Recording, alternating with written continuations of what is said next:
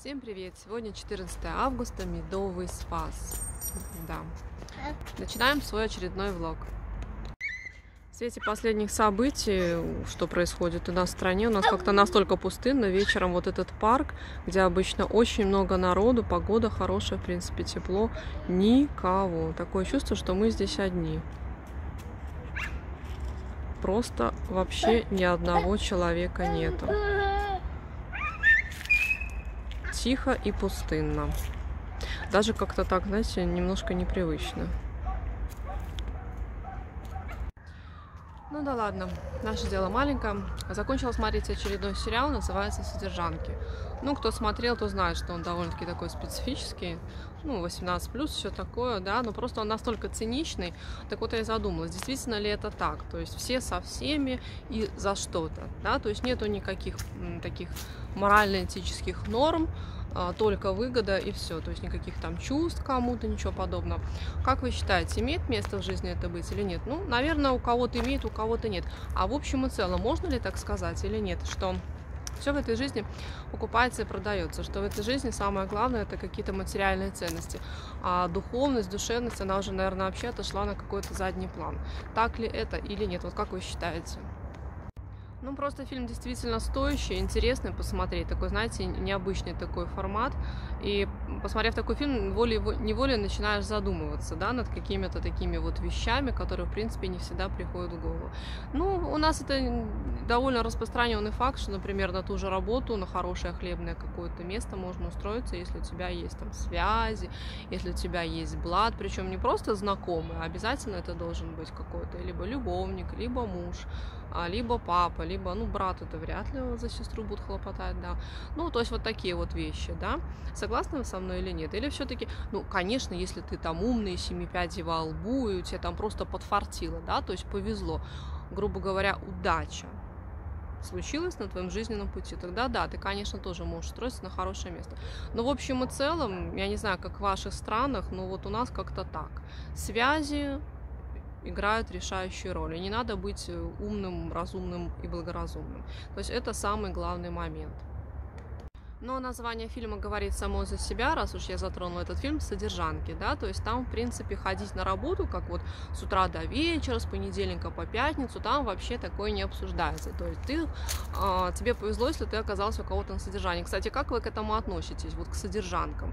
Э, этот вопрос и к женщинам, и к мужчинам. То есть вы приветствуете вот э, такую форму или нет, или все-таки за независимость, да, то есть быть у кого-то на содержании, там, ну, у папика у какого-то, или у мужа, может быть, да, или все-таки лучше иметь эту самую независимость и впахивать, впахивать на работе, вот как вы считаете? Или есть какая-то золотая середина, вот мне интересно, напишите в комментариях ваше мнение, то есть впахивать за 3 копейки, это ведь тоже как бы не есть хорошо и правильно, гробить, грубо говоря, свою жизнь на это, да, потому что не всем просто повезет найти эту хорошую высокооплачиваемую работу, или с другой стороны, быть у кого-то на содержании, это полностью от кого-то зависеть, от его настроения, от его капризов, это, это по-моему, тоже ужасно. Да, вот где же найти ту самую золотую середину? Ну, конечно, хорошо, если есть какое-то призвание, если ты нашел свое дело, и все у тебя складывается удачно. И как к этому прийти? Вот да, я вот у вас спрашиваю, мне просто интересно. Потому что я сейчас, например, сама нахожусь как бы на распутье, а, вот, то есть я нахожусь в декретном отпуске, в который я ушла, будучи что называется, работающим человеком. Да, то есть я работала, как обычно, все как у всех, да. А сейчас, вот знаете, такое время задуматься, когда у тебя есть такая уже возможность о чем-то думать. И вот я начинаю задумываться все-таки, как лучше. Нет, это не говорит о том, что я хочу быть у кого-то на содержании, ни в коем случае. Да, вы скажете, куда тебе уже, да? Ну, может быть, почему нет? А, да, хочется, конечно, самому что-то делать, ни от кого не зависеть, еще хочется кому-то и помогать, имеется в виду своих близких. Вот, что-то меня куда-то понесло, конечно, но это же влог, почему не порассуждать? Ну вот фильм, он наводит на такие мысли. Как вам моя малиновая помада? Стоит ли поднимать деньги, когда вы находите их на улице? Существует два мнения. Мнение первое, что кто-то выбрасывает деньги, чтобы сбросить с себя что-то плохое. Вот. А есть другое мнение. Мнение по трансерфингу реальности. Кто читал или слушал эти книги, что э, найденные деньги, какой бы номинальности, номинальности, правильно я говорю? Да они не были, их обязательно надо поднимать, потому что любая маленькая денежка будет привлекать большую денежку. Вот. Как вы считаете, какое из этих э, мнений будет правильное? Первое или второе? Может быть, кто-нибудь из копателей меня посмотрит и скажет свое мнение по этому поводу, потому что копатели, они всегда что-то копают, с металлоискателями что-то ищут, и, конечно же, находят какие-то деньги, какие-то находки, да, там, древних времен, может, что-то старинное, но они обязательно этим находкам радуются, обязательно их поднимают и что-то с ними там делают, очищают, складывают у себя, коллекционируют, либо, может быть, сдают куда-то, я вот не знаю. Поэтому, ну вот напишите, правда, интересно. Вот я даже не знаю, к чему больше склоняться, к первой теории или ко второй. Раз уж начали разговор про деньги, то я хочу немножко затронуть тему кредитов. Кстати, как вы относитесь к кредитам? Брали ли вы кредиты? Берете ли вы кредиты? Я вот, например, никогда в жизни не брала кредиты. Рассрочки всевозможные, кредиты. Ну, рассрочка это еще что-то более-менее нормальное, если там нет никакого обмана, если не надо платить никакие проценты. А к кредиту я отношусь крайне негативно, потому что вы что-то покупаете или что-то вы приобретаете, но вы потом переплачиваете во много раз. Так или не так? Конечно, так. Просто некоторые люди рассуждают таким образом, что э, я хочу эту вещь прямо сейчас, сию секунду, и мне вообще по барабану, что будет дальше. Точнее, они совершенно не думают про то, что будет дальше. Они просто хотят получить что-то сию секунду, вот прямо сейчас. Кстати, знаю одного такого человека, который именно так и рассуждает, что я хочу это сейчас получить. Вот я возьму кредит, и у меня эта вещь будет прямо сейчас. Ты разве не понимаешь, он часто вот говорит, ты разве не понимаешь, что это будет прямо сейчас, и не надо будет ждать. То есть, когда ты там будешь эти деньги откладывать, собирать, копить, у меня прямо сейчас будет эта вещь.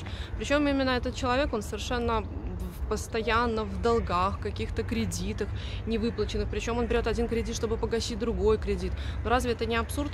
Ну, да, очень многие люди идут на поводу своих желаний, и кто я такой, чтобы себе отказывать, да?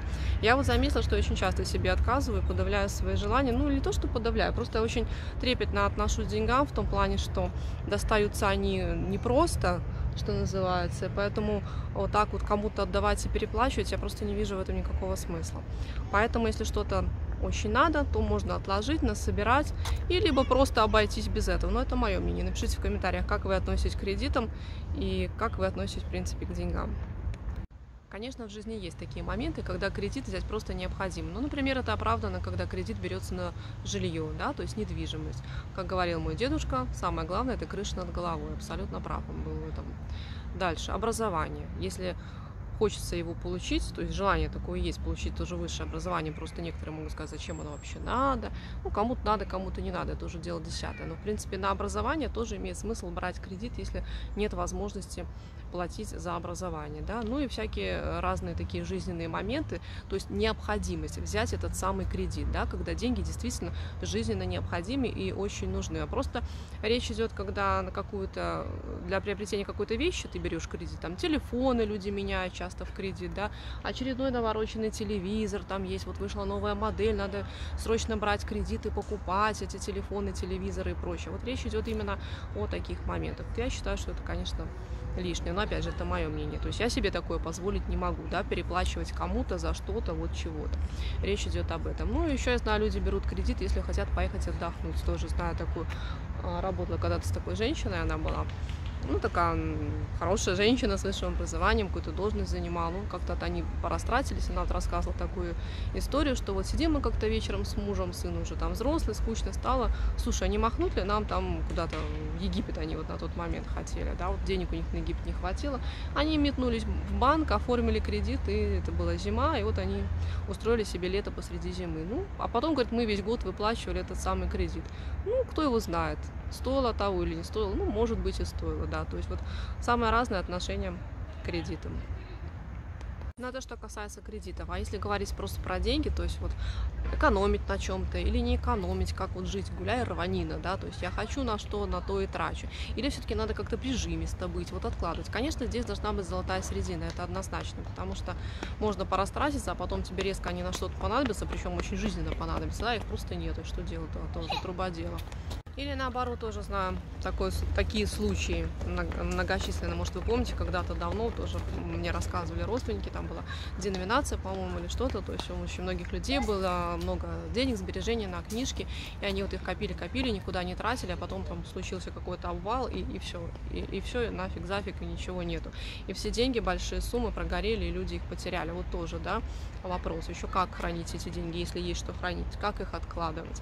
Стоит ли откладывать? Конечно, должна быть, наверное, золотая середина везде и во всем и всюду. И хорошо, когда есть что откладывать. И это правильно, так должно быть, наверное. Же я люблю летом. Сегодня 17 августа, у нас где-то плюс 30, но вечером уже так попрохладнее, но все равно так тепло, так хорошо. Я вот не понимаю, честно, многие любят зиму. Вот напишите, почему вы любите зиму, почему вы не любите лето. В прошлом влоге я что-то говорила про жару, и вот мне многие писали, что любят зиму, лето не любят. Как его можно не любить? Ведь тепло, хорошо, одежда минимум, то есть одел на себя там маечку, трусики, платьице какой-нибудь, сарафанчик пошел. А зима это вот одежда, это все пока оденешься, все это слякоть, непогода. Я не понимаю, как это можно любить, действительно. Нет, если у тебя, конечно, есть возможность, опять же, про деньги путешествовать круглый год. Вот я знаю, знаю, даже некоторые белорусы а, в ноябре уезжают куда-то в теплые края и возвращаются сюда в апреле. Вот классно, я бы тоже так хотела. У меня пока такой возможности нет. Ключевое слово пока.